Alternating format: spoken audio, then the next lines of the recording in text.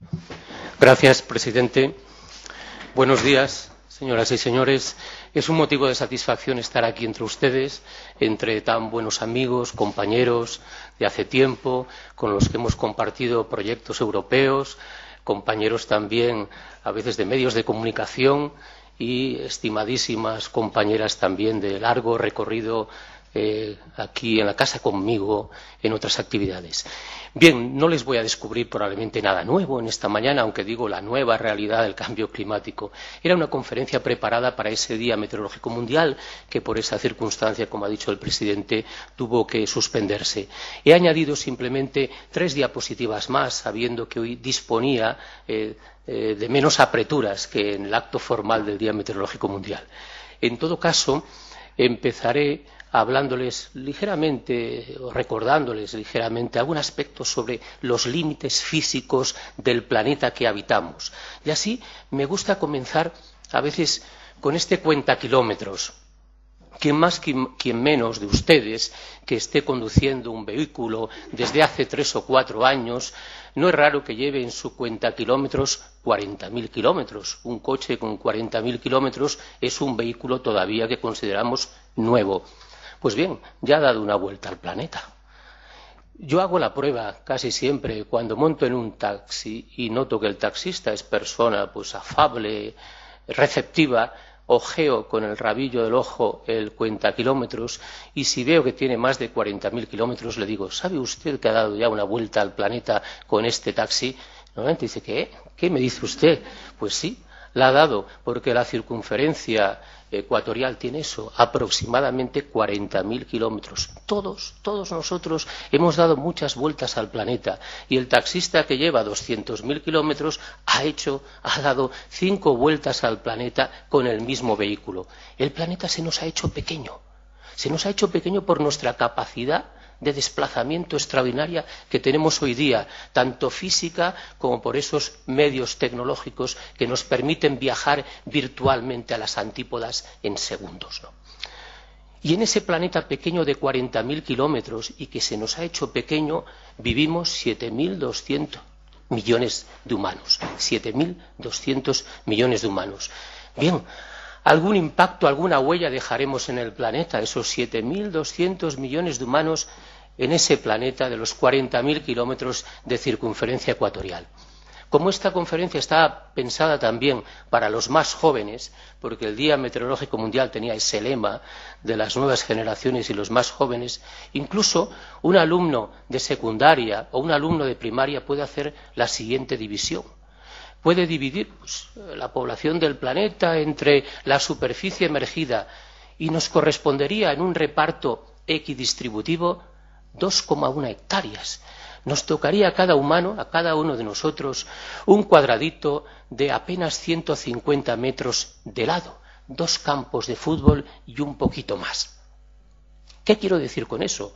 Pues que miren, que los humanos como especie tendríamos constancia visual de que vivimos acompañados por congéneres, porque cada uno de nosotros puede ver a 150 metros. Esto no lo pueden decir muchos mamíferos. Los leones no lo podrían decir. Eh, los perros probablemente tampoco. Quizás las ratas, que dicen que hay tantas como humanos, ¿no? Pero en todo caso, eso plantea un debate que ahora es marginal para el asunto que nos reúne aquí, que sería el debate sobre la capacidad de carga del planeta ¿Cuántos miles de millones de habitantes podemos habitar este planeta en unas condiciones razonables de calidad de vida? No se sabe. Es una cuestión abierta. Ha habido muchos estudios que han intentado indagar y dar un número. ¿eh? Hay estudios que dicen que ya hemos sobrepasado la capacidad de carga del planeta, que necesitamos otro planeta más, por lo menos. Y en cambio hay otros trabajos, otras investigaciones que le varían mucho el número de miles de millones de habitantes con respecto al actual. Muy bien. Miren, a mí me parece obligado leer este artículo. Esta es una de las diapositivas que he introducido sobre esa conferencia prevista para el día 24, para el Día Meteorológico Mundial. Es un artículo que podemos encontrar fácilmente publicado en esa revista internacional indexada de prestigio, Ecology and Society. Es un artículo con más de 20 autores encabezado por Rockström, pero tiene algunos premios Nobel, como ese que destaco, Premio Nobel de Química, Paul Crutzen. Se titula algo así como lo que decía anteriormente, Los límites del planeta. Y en ese trabajo, que me parece, insisto, de lectura obligada para quienes nos dedicamos a estas tareas, se identifican nueve retos ambientales, nueve problemas ambientales, encabezados, cómo no, por el cambio climático, con ese límite que conocemos de los dos grados centígrados respecto a la temperatura del periodo preindustrial, a partir de los cuales cabe esperar alguna respuesta, diríamos, irreversible en el sistema climático. Pero hay otros. Por ejemplo, la acidificación del océano está disminuyendo el pH del agua oceánica ligeramente, pero de una forma estadísticamente significativa. Y eso en parte es derivado del cambio climático, mayor cantidad, mayor presión de CO2 en la atmósfera. Los animales con concha calcárea no van a encontrar un ambiente mejor con un océano más ácido, naturalmente. Y en el tercero, los cambios en los ciclos globales de dos elementos, del fósforo y del nitrógeno. El cuarto, el conocido problema del agujero de la capa de ozono. El quinto, la carga de aerosol atmosférico, hoy de actualidad en esas megalópolis eh, chinas, eh, realmente con un aire irrespirable, eh, o en esas imágenes que hemos tenido de París en fechas pasadas, el uso de agua dulce en el planeta. Como verán, el calentamiento va a extremar la precipitación. El calentamiento eh, refuerza el ciclo del agua. En un planeta cálido llueve en conjunto más que en un, en un planeta frío, porque aumenta la evaporación y aumenta también el retorno en forma de precipitación los cambios de usos del suelo generalizados en muchas partes del planeta, la pérdida de biodiversidad, asunto grave, la tasa de pérdida de especies vivas en las últimas décadas no ha tenido parangón en el pasado y, por último, la contaminación química en conjunto. Pero nos vamos a centrar en el primero de esos nueve problemas que plantean nueve límites planetarios eh, de esos autores de procedencia y de formación tan diversas como los que encabezan ese artículo. Siempre que hablamos ahora de clima ya tenemos que inventar el concepto de sistema climático. Yo cuando estudiaba en la universidad, cuando hablaban de clima, siempre se referían exclusivamente a la atmósfera, solo. El clima era el comportamiento estructural de la atmósfera, a diferencia del tiempo, que es el comportamiento coyuntural de la atmósfera. Pero el clima no es eso, no es la atmósfera. Aprovechando un conocido gráfico esquemático, naturalmente, de los IPCC, ya estaba en el cuarto y creo que también en el tercero, aquí aparecen las cinco componentes naturales del sistema climático. La atmósfera, por supuesto, en primer lugar, como no, pero también forma parte íntima del sistema climático el océano, la hidrosfera, pero el océano. Dependiendo cuál sean las temperaturas en las aguas someras de nuestro litoral, la atmósfera tiene un comportamiento u otro. Los que vivimos cerca del Mediterráneo sabemos bien que una anomalía térmica positiva de las aguas del Mediterráneo en temporada otoñal pues supone eh, un factor, un ingrediente potencialmente eh, peligroso para el desarrollo de una inestabilidad, una convección profunda y probablemente lluvias torrenciales. La tercera componente natural es la propia superficie emergida, con su albedo diferente, con su recubrimiento vegetal o con el obstáculo que supone el relieve. Piensen, por ejemplo, en la cordillera de los Andes, extraordinaria, con disposición meridiana. Cuando llega un flujo del Pacífico al sur de Chile, pongamos a Valdivia, a una latitud parecida a la de Madrid, 39-40 sur, ese flujo aéreo que ha recorrido el Pacífico miles de kilómetros llega a la vertiente de Barlovento de los Andes y allí, claro, se resuelve en una precipitación abundantísima. ¿Qué pasa cuando atraviesa los Andes y llega a la Patagonia Argentina? que la Patagonia Argentina, desde un punto de vista paisajístico, ecológico y climático, no tiene nada que ver con la Patagonia chilena. Si la primera, la chilena, es húmeda, jugosa, lluviosa, la Argentina es seca, con unas especies vegetales totalmente diferentes. Están a la misma latitud, en el mismo continente y casi a la misma altitud, y el clima es tan diferente, el relieve es también una componente fundamental del sistema climático.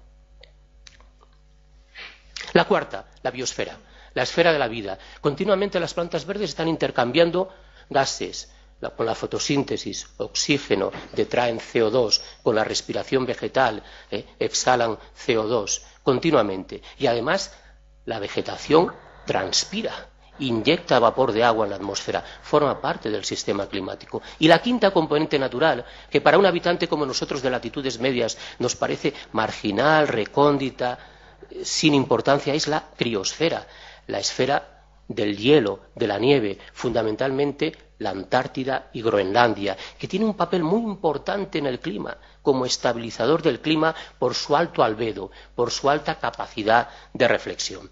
Pero a mí me gusta añadir a estas cinco componentes naturales, en el centro de todas ellas, aprovechando este esquema del IPCC, una sexta componente. Creo que ya el sistema climático tiene una sexta componente. Ahí, le pongo nombre, nuestro propio sistema o subsistema socioeconómico. Porque ya esos 7.200 millones de humanos a los que aludíamos antes, tenemos ya capacidad en este siglo XXI de alterar a una escala global las otras componentes. Siempre los humanos alteramos el medio donde vivimos. Aquí donde está sentada Madrid siglos atrás, las condiciones ambientales eran diferentes y no tenían aquí ustedes una isla de calor tan intensa como tiene ahora Madrid en su centro, en el centro de la ciudad como otras ciudades, por otra parte. Siempre adecuamos el medio a nuestras necesidades. Cortamos los árboles para construir nuestros habitáculos o como elemento eh, energético. Sin embargo, ahora lo que decimos es que ya en este siglo XXI nuestro impacto deja huella a escala global. Es un cambio de escala sustancial. Formamos parte del sistema climático. Solamente destacaré una componente del sistema climático muy importante, el océano. El océano por ser un gran acumulador de calor, por tener un comportamiento muy inercial, el alto calor específico del agua, ¿eh? hay pocas sustancias naturales que tengan un calor específico tan elevado como el agua, ¿eh? hace que le cueste mucho calentarse, como ustedes saben. En junio el agua está fría todavía para el baño, pero entrado octubre todavía está agradable para el baño. Le cuesta calentarse y le cuesta enfriarse. Y tiene un papel termorregulador que conocen ustedes muy bien los climas costeros presentan menor contraste térmico día-noche e invierno-verano que los climas continentales o de interior. ¿Y qué provee esto al sistema climático y al cambio climático? Pues le da mucha inercia. Pongo casi siempre la metáfora del transatlántico. Si un transatlántico, llegando a puerto, lleva una trayectoria errada, no va a tener tiempo de virar la trayectoria, se va a empotrar contra el muelle. Si viajáramos en una barquita, daríamos un palazo y de vuelta para atrás. El planeta, con esa inercia, ¿eh? con esa inercia eh, derivada de que nuestras emisiones contaminantes en el pasado todavía irán teniendo efecto durante décadas, ¿eh? nos, nos, garantiza, por decirlo de algún modo, que en las próximas décadas hagamos lo que hagamos, y no quiero ser fatalista porque no lo soy, el planeta seguirá viendo aumentar su temperatura y España también en conjunto irá aumentando su temperatura por la inercia de los procesos. Es un sistema muy inercial en este sentido. Hay artículos importantes en revistas eh, de primer orden que indican esto. Aunque hoy dejáramos la composición química de la atmósfera fija tal cual, todavía debido a esa inercia térmica del océano, todavía la temperatura durante décadas seguiría elevándose. Esto los que se dedican a derecho ambiental, una rama del derecho hoy muy activa, eh, pues aluden enseguida al observar, eh, al recibir esta información del mundo de la ciencia, siempre aluden al principio de cautela o de precaución. Eh.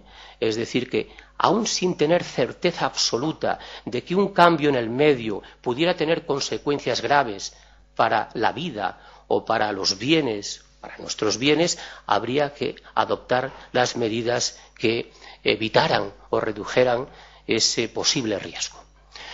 Miren, después de decir esto hay que indicar que el sistema climático tiene una característica propia muy marcada, que es su alta variabilidad natural, que es de varios orígenes, solar, volcánica, interna del propio sistema, No hay que asustarse porque una temporada haya sido particularmente lluviosa o seca o cálida o fría. Siempre ha habido grandes diluvios, siempre ha habido sequías persistentes, eh, largas, graves. Ustedes aquí en AMS seguro que reciben prensa en particular, consultas constantes después de una gran tormenta, después de un episodio particularmente extremo. Y siempre el periodista al final les preguntará, ¿es esto señal del cambio climático?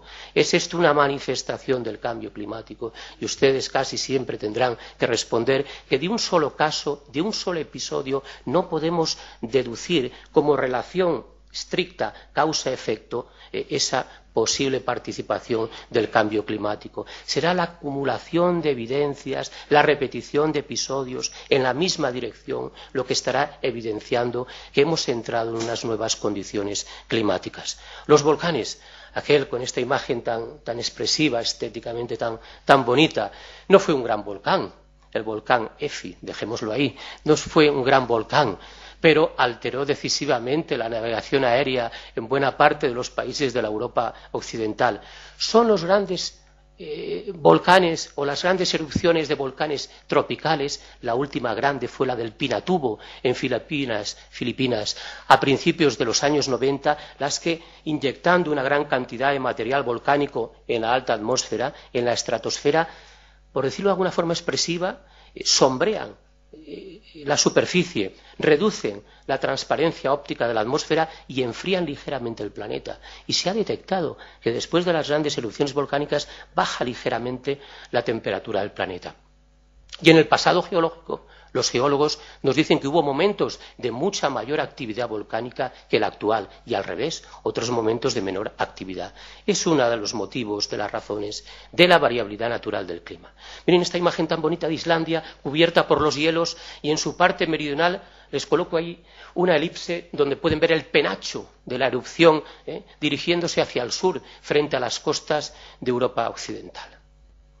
La variabilidad es una de las características esenciales del sistema climático. Miren, en su día quise conseguir la serie pluviométrica de Gibraltar. Disponía de la serie de Cana, eh, de, de San Fernando, naturalmente, y de otras de Madrid, de Barcelona. Pero dije, vamos a conseguir Gibraltar. A ver, me costó conseguirla en aquel momento. Tuve que desplazarme a Bracknell, Quería hacerlo aprovechando las vacaciones de verano a Gibraltar, pero me dijeron que las relaciones no eran las adecuadas y tenía que dirigirme directamente al Meteorological Office, eh, al Office en su sede central. La conseguí y con un colega británico pues la representamos y la analizamos estadísticamente. Miren, está cortada adrede, ahora me viene bien al caso, adrede hace pues 1983, 93, hace 30 años Hemos quitado los 30 años finales. ¿Por qué? Porque en ellos quizás podríamos ver señal de cambio climático. No, no. Esa es una ventana temporal que arranca nada menos que en 1791. Ya en 1791 en Gibraltar había medidas de la lluvia sistemáticas, razonables. Pues desde 1791 hasta 1983, cuando no hablábamos de cambio climático. El comportamiento de esta serie lo pueden ustedes considerar como comportamiento natural de la lluvia en Gibraltar. ¿Y qué nos encontramos? Que a mediados del siglo XIX, en 1855, Gibraltar rozó los 2.000 milímetros. Alguien que viviera en aquel año, aquel año, podría pensar cambio climático, 2.000 milímetros, como los lugares de España en que más llueve, o casi de los que más llueve, la realidad le mostraría que pocos años después, pocos años después, la lluvia en Gibraltar no alcanzó ni los 400 milímetros. La lluvia en Gibraltar va. El año lluvioso es cinco veces más lluvioso que el año más seco, y eso de forma natural, sin tener que recurrir al cambio climático, la variable precipitación es así altamente variable en el tiempo. También en Madrid con menos variación, pero también el año más lluvioso supone una cantidad muy destacable sobre el año más seco. Eso es normal. El sistema climático es así en la lluvia, en la temperatura, en cualquier otra variable. Con su registro ahora de precipitación que he descargado de su página web, un registro muy bonito, reconstruido a partir de 66 observatorios. ¿eh? Ustedes en su área de climatología que han hecho pues una excelente labor y que cubre todo el siglo XX y el primer decenio del actual. Pues pueden ver para esta serie conjunta de la península ibérica y de Baleares, eh, valores tan contrastados como más de 900 y apenas 500 milímetros. No para un observatorio, sino para el conjunto de todos ellos. Eso deja a las claras la alta variabilidad eh, temporal de una variable como la precipitación. Miren, el cambio climático no es una novedad. Es la segunda afirmación, después de la alta variabilidad, en un principio desmitificadora sobre el cambio climático. No es una novedad. Todos los paleoclimatólogos podrían aquí hablar muy bien de que este planeta de 4.500 millones de años ya ha pasado por muchos cambios climáticos, numerosos y algunos de una gran magnitud conocemos casi de la enseñanza primaria o secundaria que el planeta pasó por unas glaciaciones en el cuaternario, que ahora estamos en un interglaciar, en una fase óptima o cálida y que tocará dentro de poco en lenguaje, eh, en tiempo geológico, dentro de dos, tres mil, cuatro mil años tocará la próxima glaciación, porque hay unos factores eh, de ciclos orbitales que conllevan a ese, a ese diríamos, destino.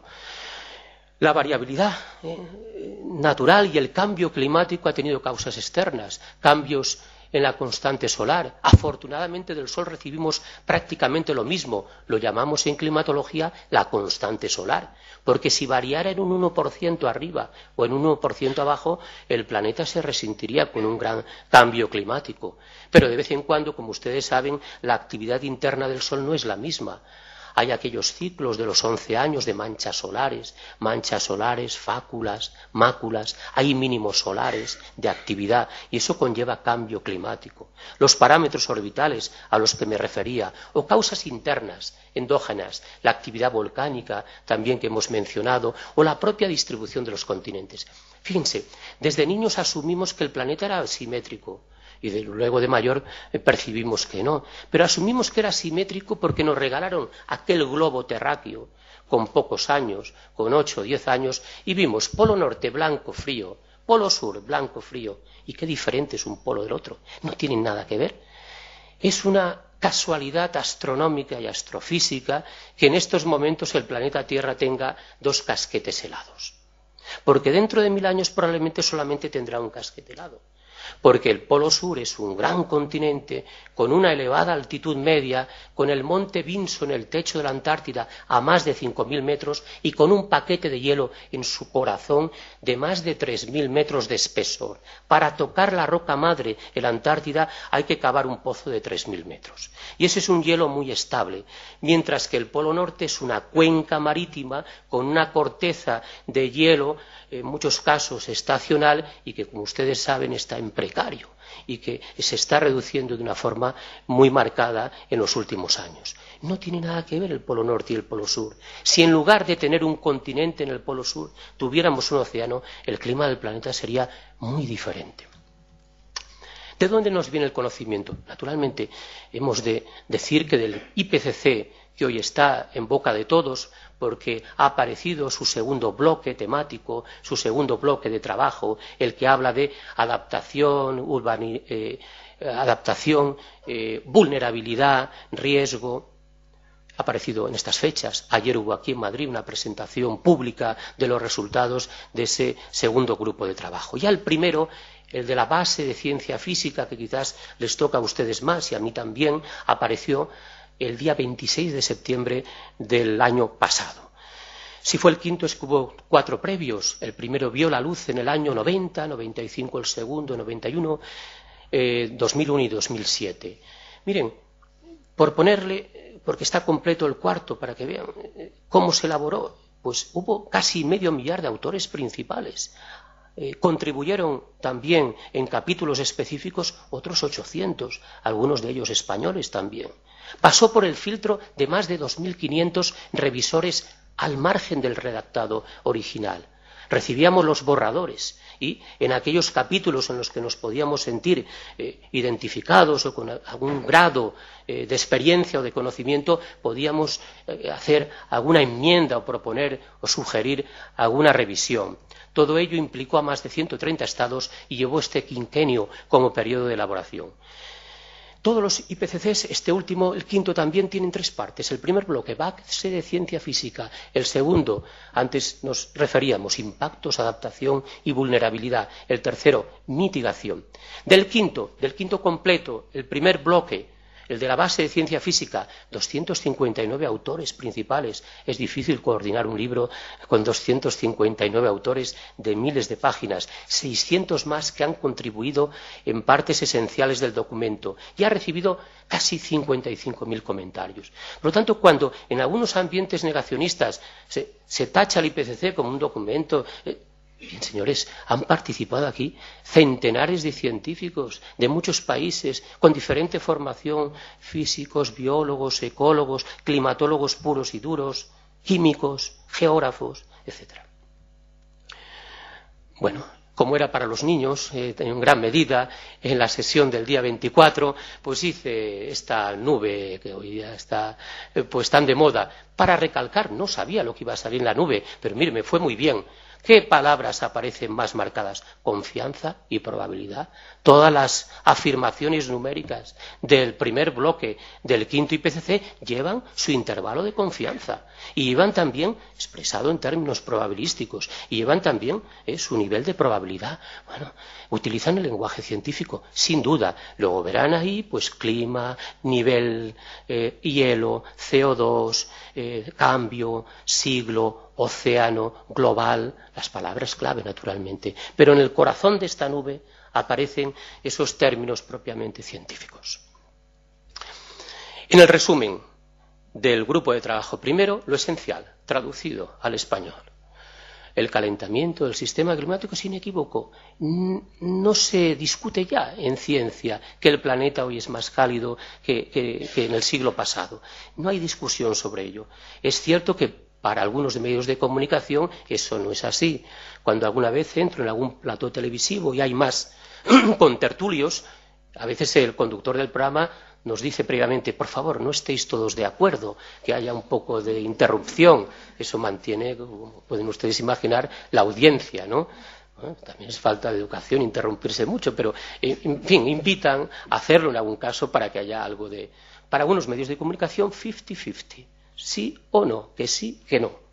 Pero realmente para la ciencia hay un altísimo consenso en que muchos de los cambios observados no tienen precedentes en periodos temporales dilatados, que la atmósfera y el océano se han calentado, los totales del hielo y nieve han disminuido, el nivel del mar se ha elevado y las concentraciones de gases de efecto invernadero han aumentado. Eso se da como cierto, como una realidad fehaciente. Miren, si alguien no creyera, entre comillas, en este asunto, por lo menos tendrá que admitir lo que nos dicen los químicos, que la composición química del aire que respiramos se ha modificado con datos instrumentales en esa red de contaminación de fondo que consta de unos pocos observatorios eh, muy bien dotados, localizados en lugares alejados de fuentes de contaminación urbana o industrial. Si colocamos un sensor en la castellana es evidente que estaremos eh, pues, eh, midiendo unas concentraciones determinadas que no son las propias del conjunto de la atmósfera, influidas por el tráfico rodado, etcétera, etcétera. Pues bien, España tiene uno, como saben de ustedes, en Izaña, en Tenerife, a 2.300 metros de altitud. Pues bien, Todas esas eh, estaciones nos están dando esta gráfica en cuanto a la concentración de CO2 en el aire que respiramos. La roja de Mauna Loa, el primer observatorio que midió desde mediados del siglo pasado, desde 1958, la otra, la negra, en el Polo Sur, coincidentes en esencia, estamos rozando las 400 partes por millón. Y por eso Cristiana Figueras, la comisionada de Naciones Unidas para el Cambio Climático, afirmó en la reunión de la COP eh, de Varsovia el pasado mes de noviembre que somos los primeros seres humanos que respiramos aire con 400 ppm, con 400 partes por millón de CO2. Bien, es una frase eh, lapidaria, pero es así. Ya el observatorio de Mauna Loa ha rozado algunas jornadas las 400 partes por millón y en promedio nos acercamos mucho a ello. Eso es una realidad fehaciente. No lo notamos, no lo percibimos, pero está ahí y tiene su efecto en el clima del planeta. Con una ventana temporal más amplia y del cuarto IPCC del anterior, con esta ventana de 2000 años, los tres gases más importantes de efecto invernadero, CO2, metano y óxido nitroso, presentan su sus puntos álgidos, sus valores más elevados, indudablemente en el momento actual. Los datos antiguos, naturalmente, no son instrumentales, están reconstruidos por técnicas paleoclimáticas muy diversas. Miren, ¿y cuál es la respuesta del sistema climático? Aprovechando el último, el quinto IPCC, pues que la temperatura media global ha aumentado en 0,85 grados centígrados durante el periodo 1880-2012. Será muy difícil transmitir al ciudadano y ustedes que se enfrentan muchos de ustedes cada día pues con las agencias de noticias, con los medios de comunicación o con el vecino en el ascensor, será muy difícil explicarle la importancia de que el planeta en más de un siglo haya visto elevar su temperatura en poco más de ocho décimas de grado centígrado, cuando prácticamente ningún humano es capaz de determinar, de detectar una variación de ocho décimas o eh, que la temperatura en el exterior de AM, de su sede central, desde que entramos en este salón de actos hasta que salgamos, haya variado más, habrá variado mucho más de ocho décimas. ¿Cómo transmitir al ciudadano esto? Es difícil, no es fácil del todo.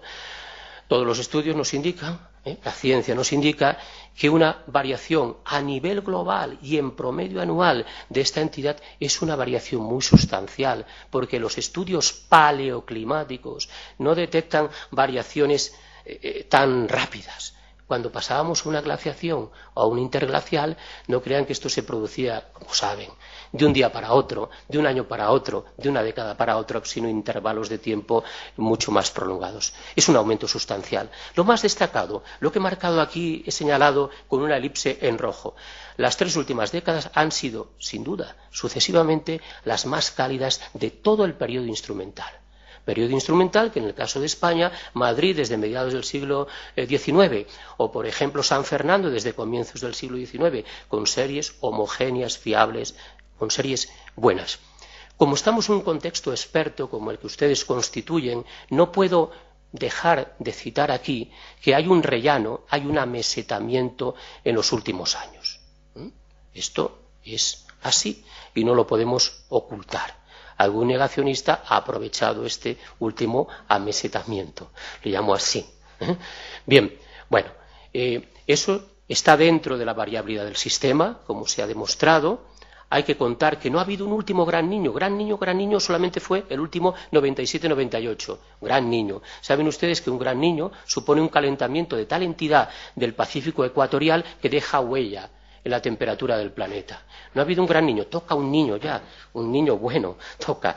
Eh, por otra parte, ha habido baja actividad solar, pocas manchas solares en la última década. Y por otra parte, seguramente que la variabilidad interna del sistema, fíjense, hay una llamada oscilación multidecadal del Atlántico, de más o menos 60 años. Voy a marcarla aquí para que vean que si siguen esta gráfica, una onda, seno, onda, seno, onda toca un seno. Es decir, hay una variabilidad interna del sistema que probablemente está contribuyendo también a ese amesetamiento que, con alta probabilidad, dentro de poco tiempo seguirá su rumbo hacia arriba. Otros cambios observados. La cubierta de nieve en disminución en primavera, claramente en el hemisferio boreal.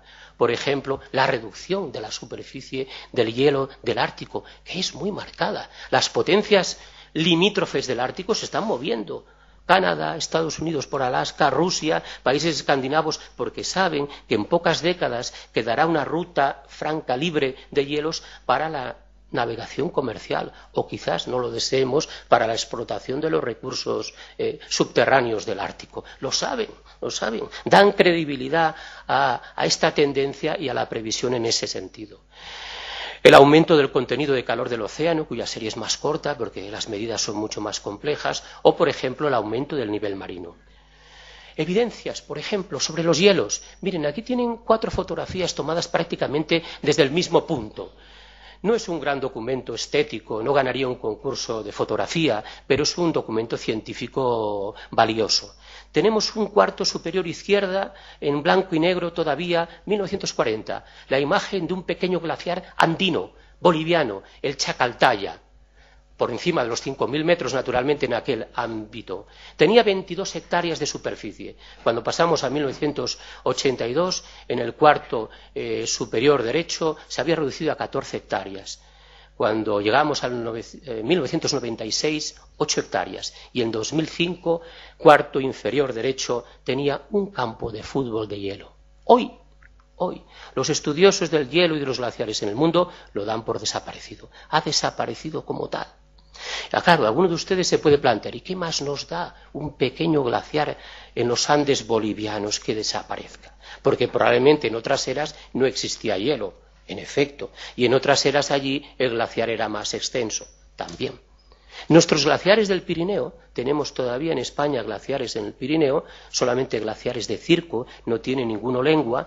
En los pulsos fríos de la última glaciación, el hielo llegaba de esos glaciares, la lengua, hasta valles a 800 metros. Tenemos testigo en las morrenas, en los depósitos ¿eh? que arrastraban como un bulldozer como una excavadora aquel hielo. Hoy los tenemos recluidos a 3.000 metros aproximadamente y en retroceso, como verán, en retroceso marcado.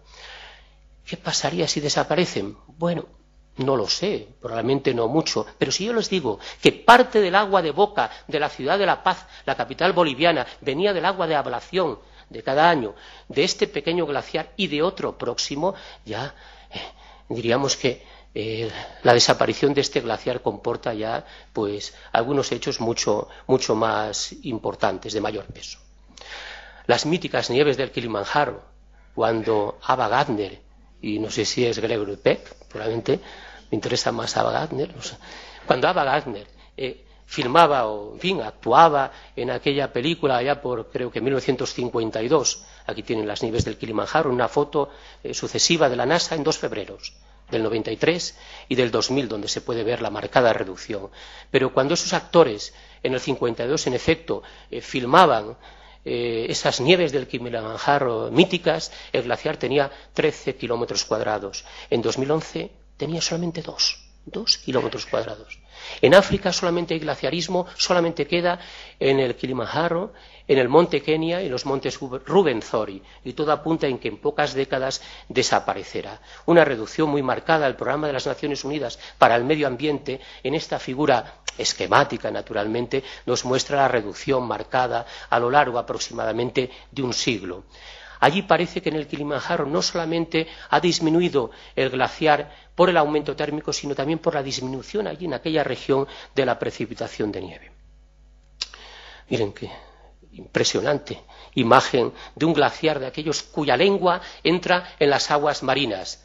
Tenemos ahí el perfil en 2004 de la lengua de 1909.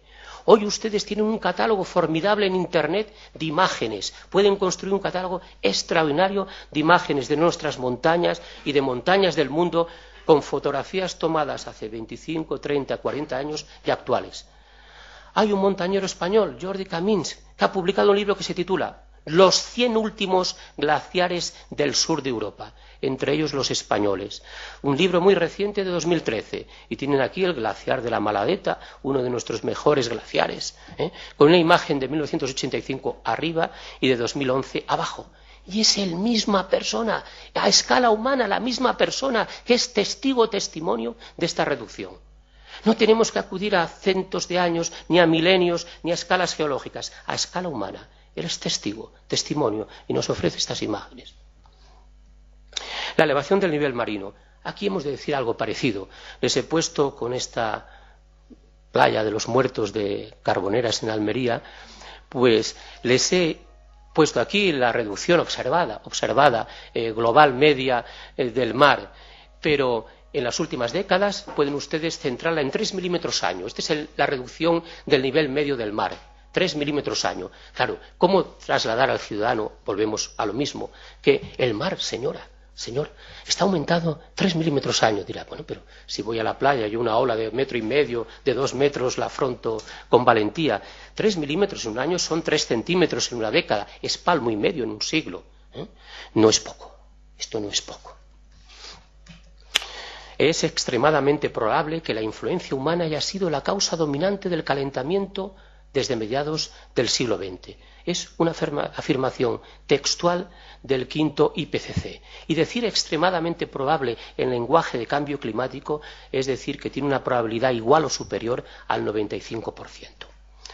Miren, sobre esto les he colocado en esta diapositiva que dejo aquí a su disposición por si les interesara aquí en AEMET, tenemos que a lo largo del siglo XXI hemos pasado, tercer IPCC, 2001, la influencia humana en el calentamiento es probable. 2007, cuarto IPCC, la influencia humana en el calentamiento es muy probable. Quinto IPCC, 2013, la influencia humana en el clima es extremadamente probable. Hemos pasado del 66% al 90% y al 95%. Para la ciencia tampoco hay duda de que nosotros somos la causa principal del calentamiento observado.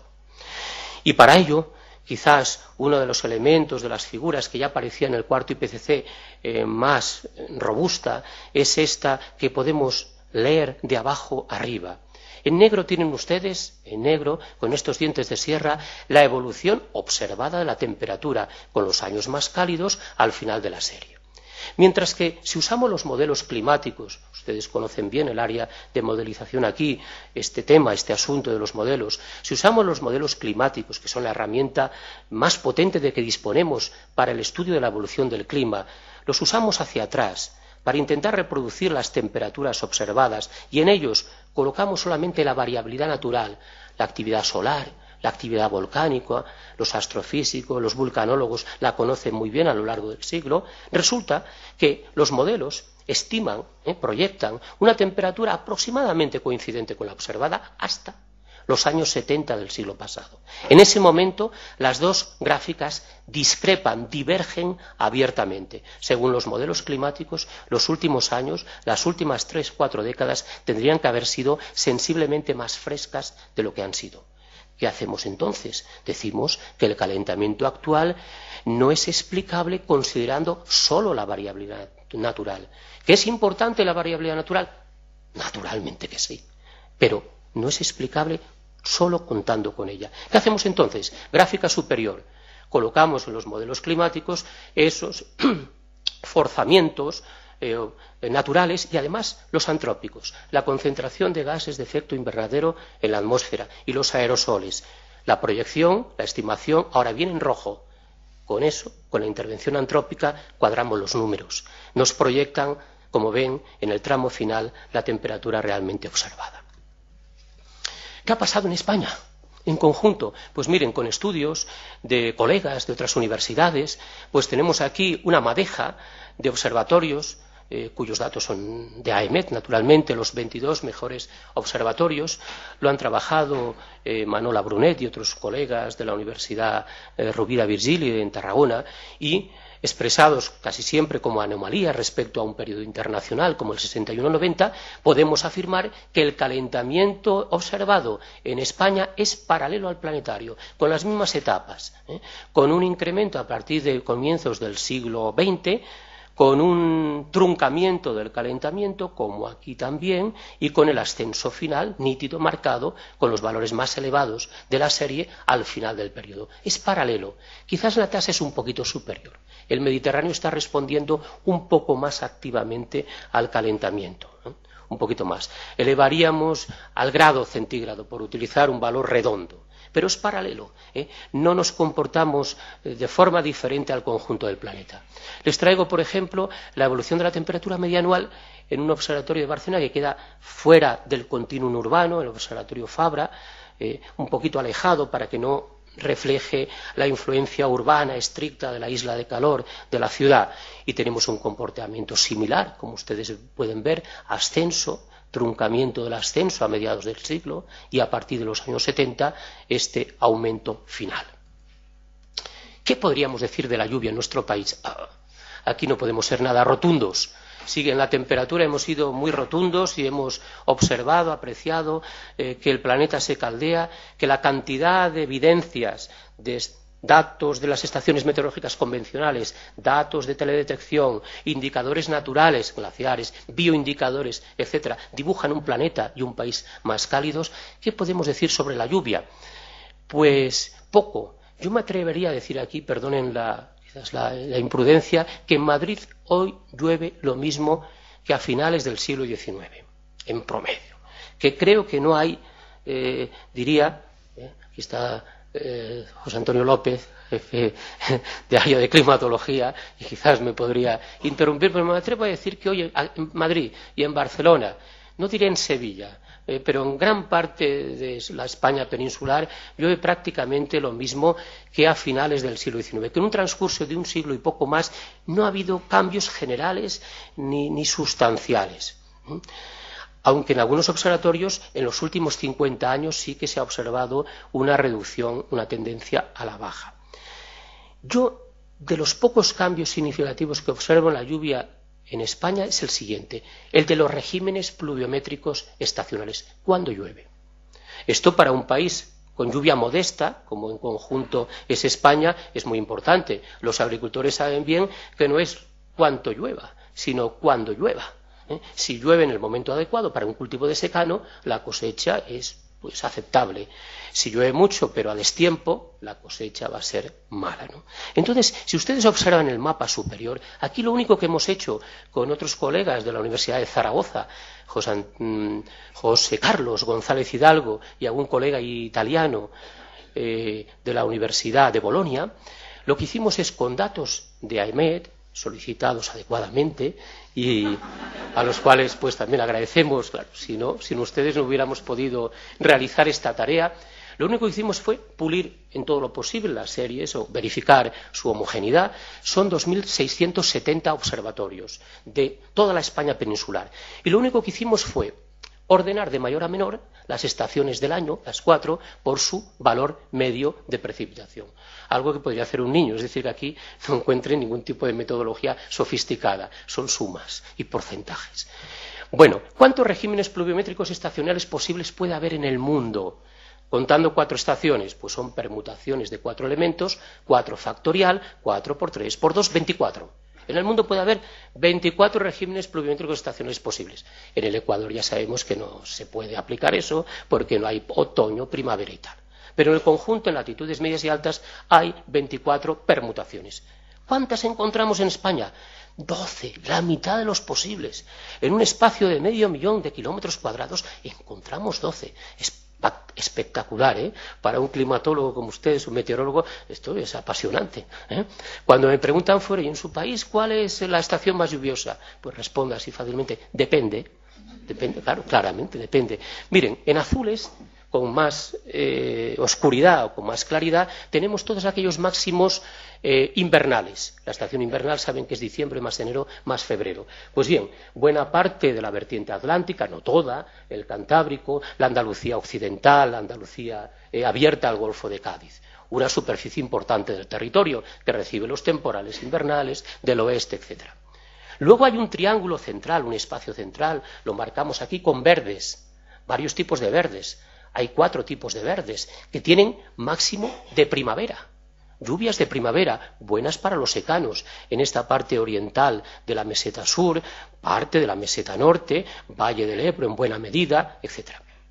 Luego tenemos una franja estricta oriental de la península ibérica, desde Gerona hasta hasta Murcia, Almería, con máximo otoñal. Lo conocemos bien, lo asociamos a los temporales del Mediterráneo, circunscrita en ese margen, esa fachada oriental de la península ibérica.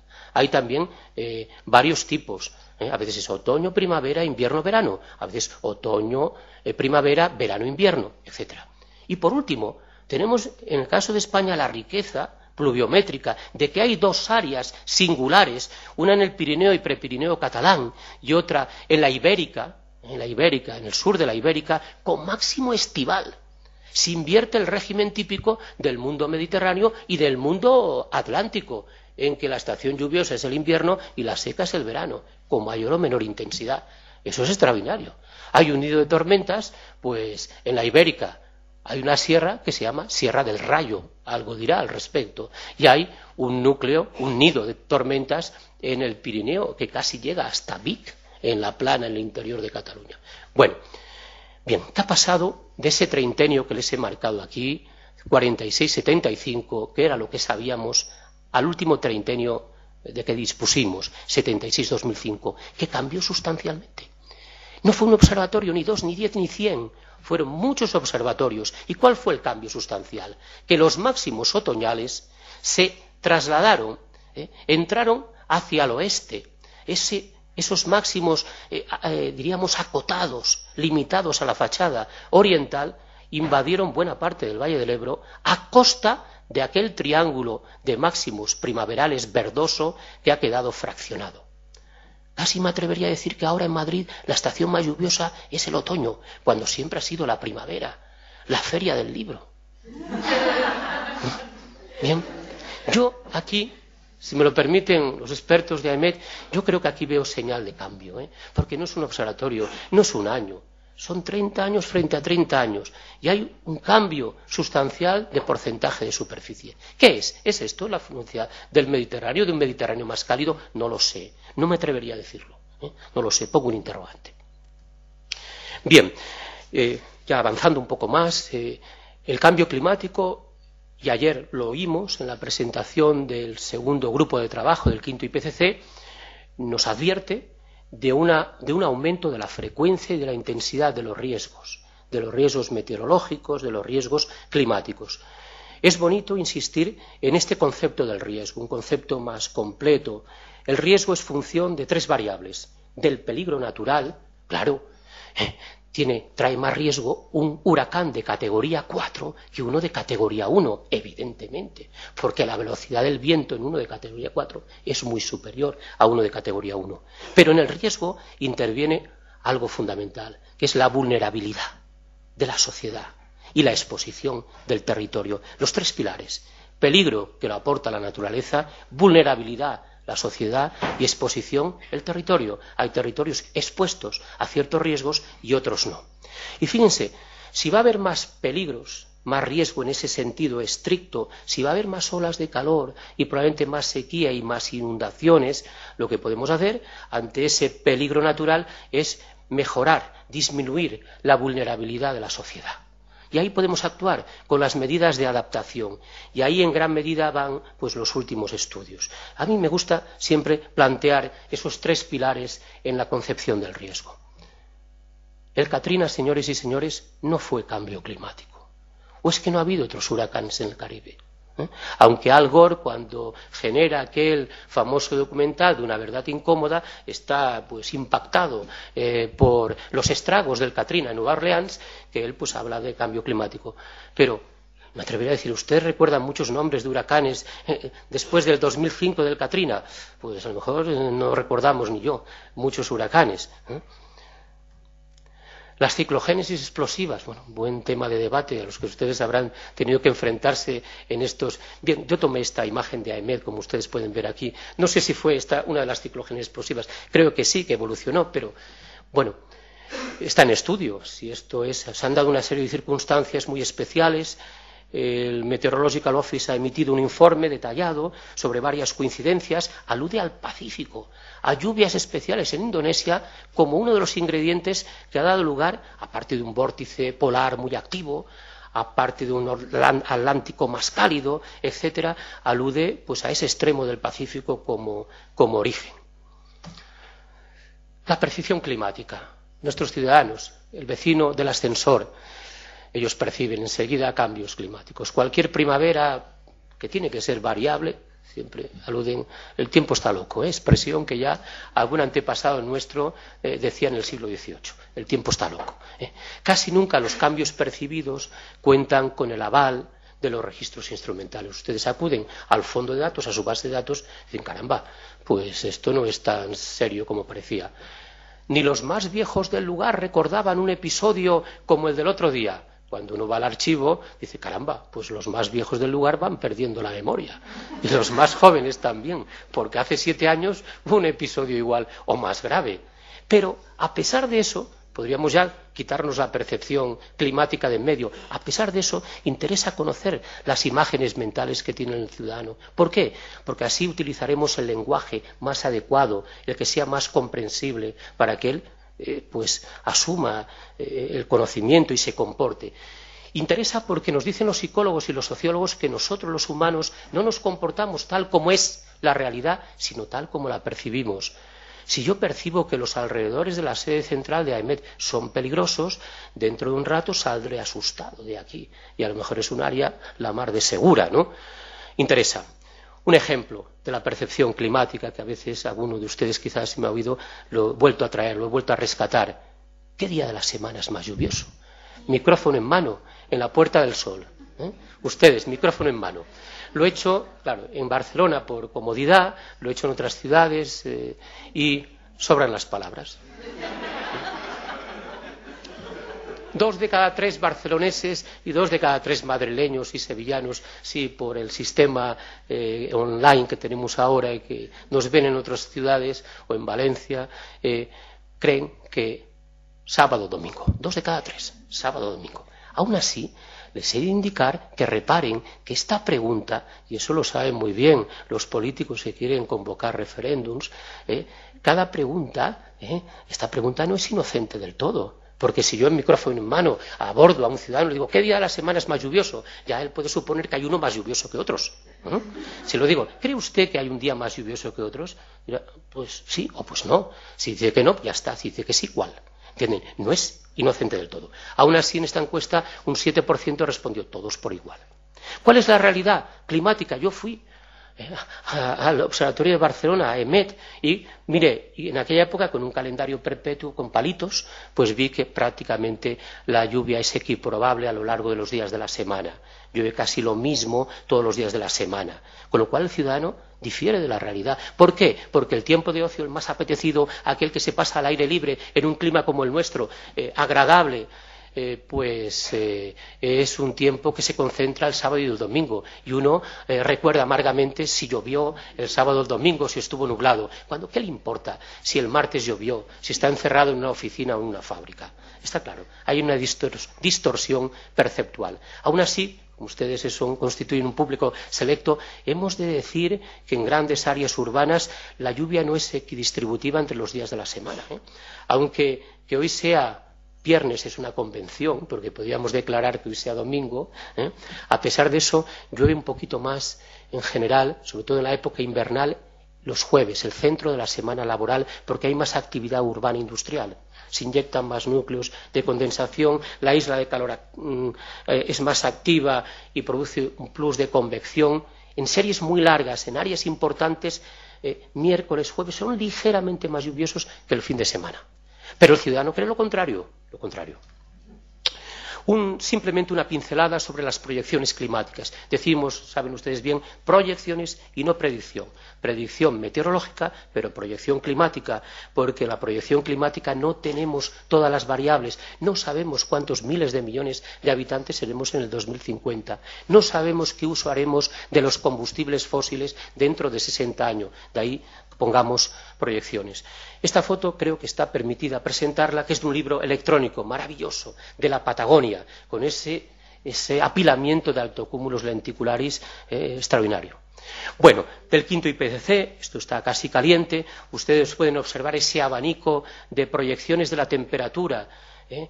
Con dos escenarios, un escenario pues, eh, razonable en el que vayamos cambiando nuestro modelo energético, sustituyendo los combustibles fósiles por energías renovables, y un mal escenario en que sigamos buscando petróleo y quemando petróleo allí donde haya, en las pizarras bituminosas o con el fracking, el gas natural, donde, donde sea el abanico marca promedios de 1 a 3,7 grados centígrados más en los dos últimos decenios del siglo actual respecto al veintenio 86-2005. Es un aumento muy sustancial, incluso en el mejor escenario. Hemos hablado antes de 0,85. Ahora, en el buen escenario, un grado.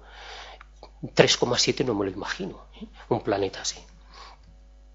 Miren, con estos planisferios, para eh, un escenario bueno, ese RCP26. Eso significa que es como si tuviéramos 2,6 vatios por metro cuadrado más de forzamiento radiativo. Pues el planeta se caldea, pero más con 8,5 a la derecha. Podríamos hacer demagogia ¿eh? y decir aquí del planeta azul al planeta rojo, pero no lo vamos a hacer, ¿no? No lo vamos a hacer. Los continentes más que los océanos, eso es consistente con lo que sabemos, ¿eh? lo ven, continentes más. En todo caso, el calentamiento es global, aunque añado desigual, ¿eh?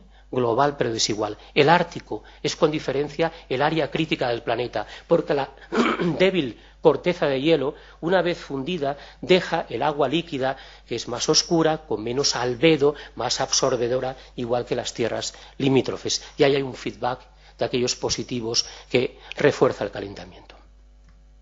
Cambios futuros en la precipitación. Les he traído un mapa que me cedió James Harrell de la NOAA y que eh, refleja bastante bien que en un planeta cálido llueve más, todos los verdes y azules son aumento de la lluvia en altas latitudes. Nuestros colegas del norte de Europa nos están indicando que ya llueve más. ¿eh? También en el Ecuador, pero para nuestra desgracia, en las franjas subtropicales, tropicales, tanto del hemisferio norte como del austral, y ahí ponemos donde estamos, ¿eh? las proyecciones son a menos. ¿eh? Aunque he dicho que hasta ahora en gran parte de España no llueve menos que un siglo atrás, sí que las proyecciones ¿eh? indican que lo más plausible es que contemos con menos lluvia a lo largo de este siglo. Entonces, en la planificación de nuestros recursos hídricos, en la planificación hidrológica, eh, deberemos asumir como hipótesis más eh, plausible la de que no vamos a contar con más agua. Miren, esto es simplemente una evocación que se hace a menudo. Eh, Oslo pasa de donde está a Dinamarca, Londres pasa al centro de Francia, París a Toulouse y Madrid se va a Melilla. A finales de siglo. Bueno, esto lo ha hecho un investigador del Instituto Elcano, no lo he hecho yo. ¿eh? Bien, esto es muy visible para un ciudadano, es muy, muy, diríamos, evocador. Bien, aquí no hay mucha ciencia, pero eh, es lo que supone en traslación latitudinal. ¿Qué nos dice AEMED? ¿Qué nos dicen ustedes? Lo conocen, no vamos a detenernos, pero en aquellas eh, proyecciones eh, disponibles en la página web, pues para el último treintenio del siglo actual, respecto al internacional del 61-90, con ese modelo global, el Hadley, con el método de los análogos para el downscaling, para la regionalización, nos dieron estos mapas de aumento. ¿eh? Aquí es la variación media por meses, mensual, en grados centígrados de la temperatura. Yo me quedé impactado porque los veranos, según esta proyección, van a ser mucho más calurosos y los inviernos algo más suaves. Lo podríamos traducir así con adjetivos. Imaginen ustedes en julio o en agosto en Madrid, con esta escala cromática y numérica, una temperatura media de agosto de 6 grados centígrados más. me cuesta, pero esto es lo que proyectan los modelos. ¿eh? Inquietante. ¿eh? Fíjense, los litorales con menos aumento térmico, como corresponde a esa termorregulación marina, pero es impactante estas proyecciones. ¿Qué pasa con la lluvia? Les he traído solamente la variación media anual también de ustedes. Bien, eh, si habíamos dicho que hasta ahora la lluvia no había manifestado grandes variaciones ni generales, sí que prácticamente en todo el territorio de la España peninsular y Baleares eh, se dan reducciones, más en el sur de la península ibérica, donde ya podríamos decir que son visibles. ¿Y qué podemos hacer para acabar? Pues tenemos las palabras claves de mitigación, es reducir las emisiones para que el calentamiento sea el mínimo posible. El calentamiento, por decirlo de algún modo, está garantizado. Hemos de intentar que sea el mínimo posible. Y para convivir en un planeta y en un país más cálido, las medidas de adaptación. Adaptarse es ajustarse a una nueva realidad para reducir el riesgo, esos riesgos eh, posibles. Y también con un punto así más positivo les indico que también adaptarse es aprovechar las nuevas oportunidades. Un ejemplo muy simple, era para niños, de mitigación. Aprovechar la central nuclear de fusión, que es el Sol. Las estrellas son, no son centrales nucleares de fisión, ¿eh? con el problema de los residuos. Son enormes, increíbles centrales nucleares de fusión. Y utilizan un combustible nada peligroso, el hidrógeno. Y el residuo es nada peligroso, el helio. ¿Eh? Allí en el corazón, en el centro del Sol, a elevadísimas presiones y temperaturas, núcleos de hidrógeno se fusionan con el desprendimiento energético y dando lugar a núcleos de helio. Los agureros que decían hace un año, al llegar a Navidades, que se acababa el mundo, ¿eh? le recordábamos que todavía tenemos un 90% de combustible en la estrella, ¿eh? 90% de hidrógeno. Y adaptación. ¿Qué podemos decir? Les pongo un ejemplo final. Miren, los empresarios de las estaciones de, esquí, a pesar de que estas dos últimas temporadas invernales han sido buenas, pues deberían irse adaptando a una nueva realidad, porque las proyecciones, y ya en los Alpes lo tienen muy claro, nos indican menos nieve, aumento de la cota de nieve, etcétera. Entonces, ¿por qué no cambiar el concepto de estación de esquí, eh, que está acotada en el calendario en España de la Purísima a Semana Santa? Y cierra. ¿Por qué no hacer ahora un esfuerzo, una inversión, diversificar la oferta y cambiar estación de esquí por estación de montaña? ¿O es que no ofrece más la montaña que la nieve? ¿No ofrece el excursionismo, los deportes de aventura, el aire puro, el libro abierto de la naturaleza? Y eso, señoras y señores, no tiene calendario. La montaña sí está abierta del 1 de enero al 31 de diciembre y para todos. Para todos ustedes eh, les agradezco su presencia aquí. Muchas gracias. Gracias.